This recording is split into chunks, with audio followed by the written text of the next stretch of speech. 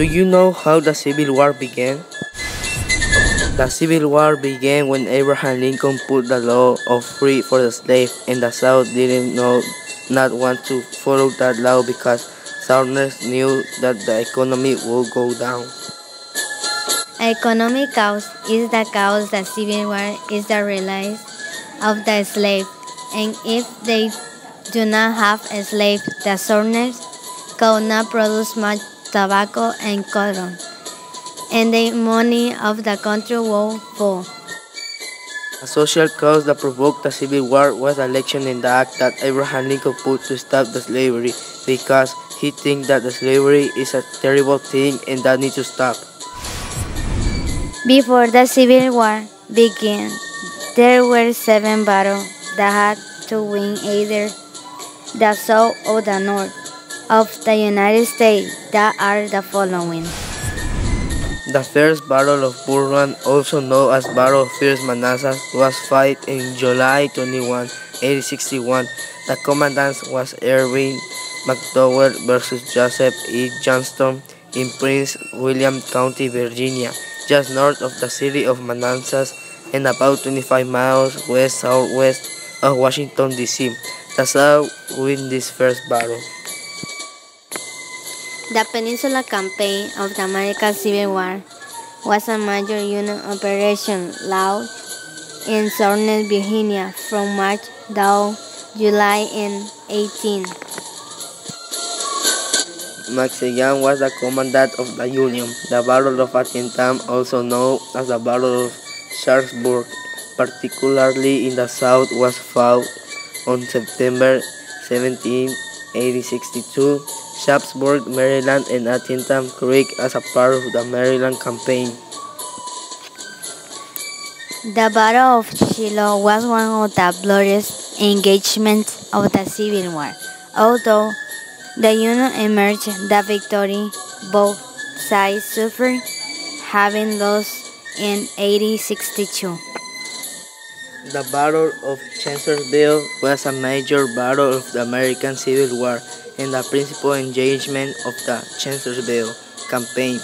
This war was at Spotsylvania County in April 30, 1863 to May 6, 1863. The Battle of Atlanta was a battle of the Atlanta campaign fought during the American Civil War of July 22, 1864, just southeast of Atlanta, Georgia. The Battle of Gettysburg was fought July 1 to 3, 1863 in and around the town of Gettysburg, Pennsylvania by Union and Confederate forces during the American Civil War. They were directed by Robert Lee versus Anderson. Two of the Union had armies that led the people of the North to win the battles, and the leaders are the following. Abraham Lincoln was the president of the USA in the time of the Civil War. He put an act to stop the slavery. Most of the people was angry for that act, and for that the Civil War began. William Sherman was a dog soldier. George McClellan, the general, was a good organizer. He trained for seven months his army, but he never attacked. In March 1862, he moved. Robert Anderson was a United States Army officer. General Ulysses Grant was the 18th President of the United States, and he became in a commanding general. Like the Southerners hoped to win the battle with the help of the Army of the South that was led by the following people.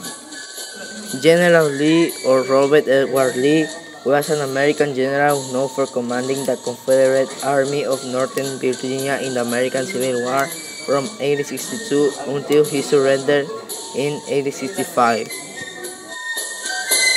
Stonewall Jackson was a general in the Civil War. James Ewell Brown Jeb Stuart was a United States Army officer from the USA state of Virginia in the Civil War. Jefferson Davis was a Mexican hero. After the main battles, the United States had some consequences that made problems with all the community. Emancipation and proclamation declaring that all persons held as slaves in the rebel zone are and several forward shall be free. April 17, Virginia separated from the Union, but there were also some people who refused. Antietam, 22,717. Stone River,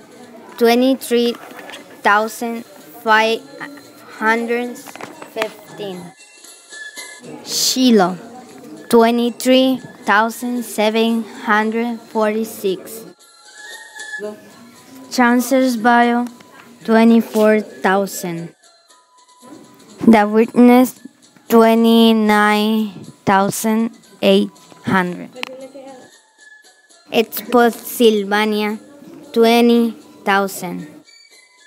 Policemen and white people attacked and killed many African Americans in two southern cities, Memphis and New Orleans. The indignation and this violence led Congress to press for a more strict form of reconstruction.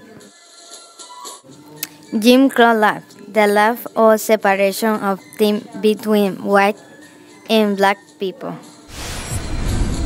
During the Civil War, they had sophisticated armaments, but here are some guns that the Union used to win the battles. Rifle bullet. The northern and southern people made bullets more powerful. This bullet can kill with only one bullet. 8061 rifle musket Colt .58. This gun was used in the Civil War for the Northern and the Southern. Revolving, a pistol with revolving chambers enabling several shots to be fired without reloading. The Remington was a model of an old shotgun.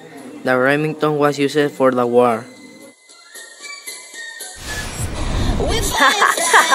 Let's go. Yay.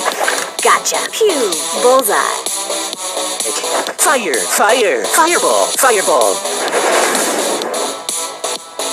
Fire, fire, fireball, fireball.